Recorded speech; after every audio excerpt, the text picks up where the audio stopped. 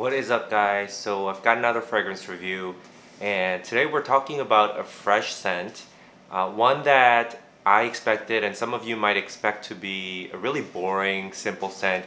And actually it's one I, I knew about um, and I kind of overlooked from the house. uh, it's called Cefiro from the House of Floris which as you know is a really historic fragrance house from London. Um, I was drawn to Floris very early on. I started with number 89, the really famous uh, you know, Ian Fleming scent, James Bond scent, um, which is a really like powdery, um, for some people I think it could smell a little too old school, a little too like toiletry like um, scent and it's a classic cologne smell and I went with that and one of my best rated uh, reviews um, or sorry one of the the fragrances that I spoke I've spoken really highly of is Floris 1962 which I really regret selling. It's a discontinued fragrance. Um, apparently smells like Italian cypress from Tom Ford which I haven't tried but it's a phenomenal scent. Um, I wish I had it still. It's still you know, to this day, one of my uh, all-time favorite scents. Then there's, you know, the often talked about honey oud. Um, there's Neroli uh, Voyage, which is a good summer scent, kind of buttery. Floris does these, you know, has a collection of scents that, that's really kind of buttery, crisp, fresh. Uh, I've reviewed Bergamot, Positano. They're all really good. This one I thought based on the note breakdown and the concept initially seemed uninteresting but the way I actually ended up buying this is um, it was Christmas Eve and uh, we were going to have brunch at Sarabeth's in New York right by um, next to the Plaza Hotel in, uh, by Central Park. And you know there was a we didn't make a reservation um, or anything. There was a, about a 40 minute wait. So super cold. It was when there was this the uh, winter storm on the east coast um, uh, this year. So uh, last this past year. So we went to Bergdorf, which is a place I never go to. You know, usually sometimes we will go to Bloomingdale's or Saks. They're like closer and just yeah more mainstream. Bergdorf. So I never visited this physical store in New York, and then um, when I went, it was a little like like we happened to be in the men's section lots of clothes that didn't really interest me, like boutique, super high-end stuff, not really into that thing. And then just by chance, we landed on a fragrance corner. It was like, it was actually beautiful too. The store, I wish I had a picture of it.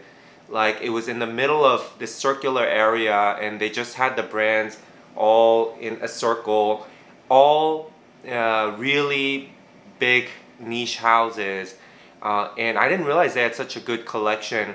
Frederic Malle, of course, Amouage um, with all their full collection, uh, Ex Nihilo. They actually had Floris, um, and, and, they had uh, Mizensir.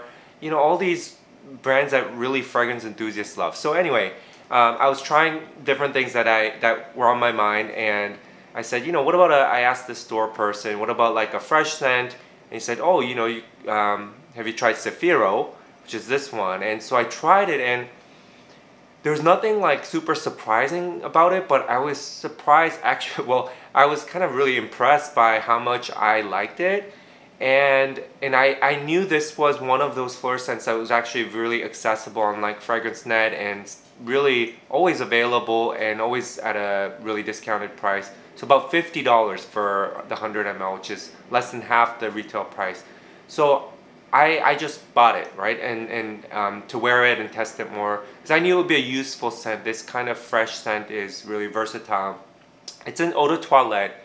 If you look at the note structure, um, it's a deceptively simple um, you know, composition, but it's also a classic composition. And I think just based on the notes, you couldn't really tell what exactly this one is going to smell like or how it's going to be different. So you have citruses at the top, lemon, lime, orange, and you they list also cardamom and nutmeg um, as added notes. And uh, you also have a floral heart uh, with jasmine and musky base, sandalwood. I'm not sure if there's cedar there. but I did pick up on that, you know, hint of that smell uh, when I wore it. So there's something about this scent that was kind of, it made me think, wow, it's just so well balanced and well created. It's so likable. It's at times it feels like one of those very um, classy, fresh, uh, masculine colognes, but other times because of the floral component, it leans a little bit. You get, yeah, you get that little twist that makes it lean a little more feminine. And so overall, it's a unisex scent. But I like that kind of play or shift between you know it being having a more masculine tone and also a more feminine tone. I think it keeps this. That's what keeps this kind of different. That balance um, done so well. And for a time, I kept trying to figure out what this reminded me of, and I couldn't put my finger on it. I just like there was something familiar about it um, that I couldn't identify. Eventually, the, the scent I thought of was uh, um, Clementine, California from Atelier Cologne, and I actually have a sample of it, and I did it. I'm wearing it side by side because I was so curious. Does it actually smell like that? And there's a reason why I thought of that comparison. Side by side, it actually doesn't smell quite like that. There's they smell very different, but there are key similarities. So Clementine, California, overall, um, it's a really you know uh, praised scent, and and you have to try it. It's a really nice, easygoing scent, happy scent, but it's a lot sweeter. There's this vanillic undertone in it um, that you don't get here. This is a lot more crisper and a lot more tart and sharp. And that's because the similarity I was getting was from this orange top note. Um, and orange gives off an interesting, to me, um, and unique citrus note that's different from just plain kind of bergamot and just um, like just a generic citrus note. There's some unique characteristic that's a little bit sweeter and a little bit bitter at the same time. And the other similarity I was getting was this had that similar I almost I want to say slightly green, um, but also don't want to give the wrong impression. Green in the sense that you know when you smell a mandarin orange, uh, there's that stem component. Um, so think of a really ripe, nice, juicy, sweet orange, not a sour one, and and balanced by that slight vegetal bitterness um, that you get from the stem, which I always noticed about Clementine, California and liked, and you get a little bit of that as well here. You know, and I'm not gonna go and try to identify like what what what notes contributing to that smell, but that's what I'm getting. um, but there's a lot more predominant lemon note as well in this one that makes gives it the the more sharp lemony tart quality.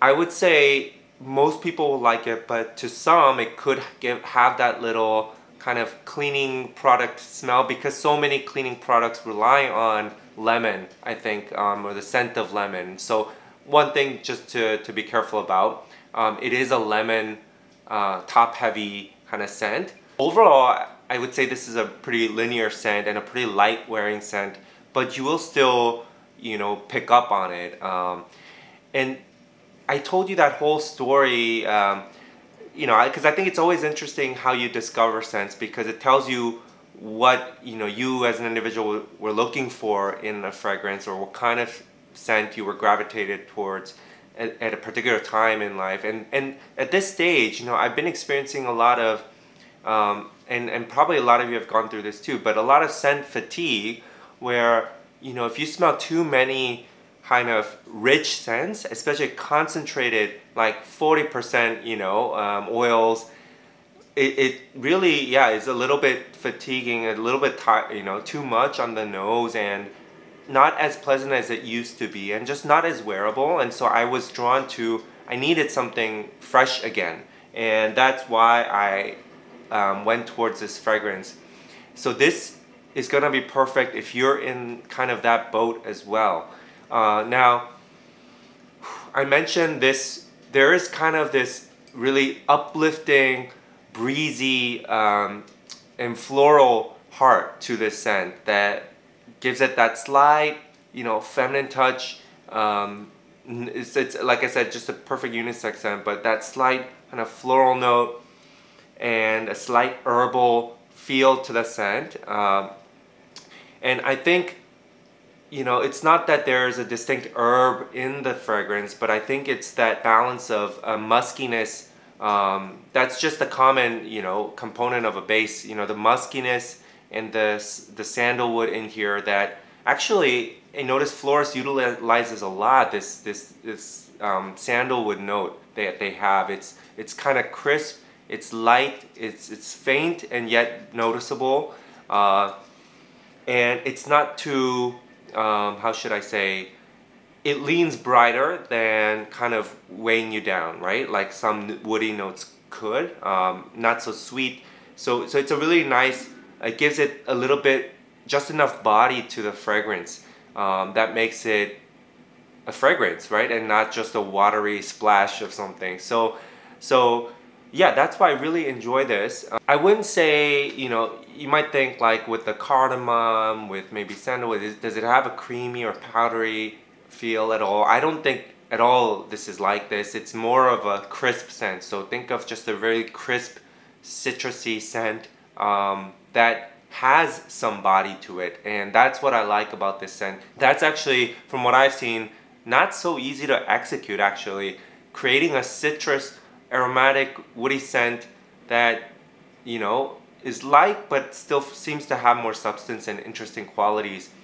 And I think um, I, I, should have mentioned this in the beginning but Cefiro, the name uh, is actually an, an alternate word for zephyr which is which means a gentle breeze. And this is one of those so aptly named fragrances.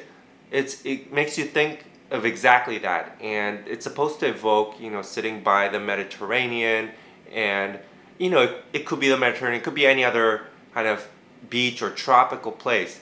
Um, but just a relaxing atmosphere, uh, kind of, yeah, like, kind of an, it has an old time charm and elegance to it, but this leisurely quality about it where you're sitting outside and you can feel the breeziness of this scent. Um, it's, it's like the breeze is capturing the, the fruit smells of you know the orange trees.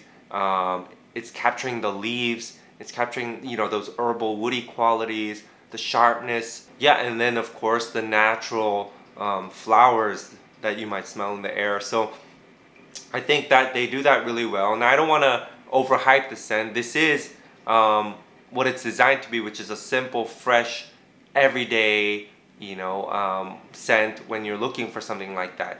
You know, you don't always want to be, uh, you don't want to be smelled all the time, right? Especially if you're in a really tight space. Um, but sometimes you still you still want to smell fresh and tasteful, and you know you know you, there will be times when people kind of lean over to talk to you or yeah and get closer, and that's when you want people to think, wow, wow, this like smells really nice. Um, it's like so subtle, it's there, um, but man, this this person smells really nice, and that's I think the function that this kind of scent serves. So really fantastic scent for the for those reasons. Um, check it out. I think if anything, you know, it's one of the better value florists out there. Um, you know, the the other ones like come in and out of the the market um, depending on the demand. And um, this one, yeah, you should be able to get it. So I think if you like fresh scents, definitely check it out. If you like unisex scents, if you like citrus scents, definitely check it out. Um, yeah, I would recommend this scent, which is why I'm reviewing it. So anyway, hope you guys enjoyed that. Uh, found it useful. I'll see you in the next reviews. Bye.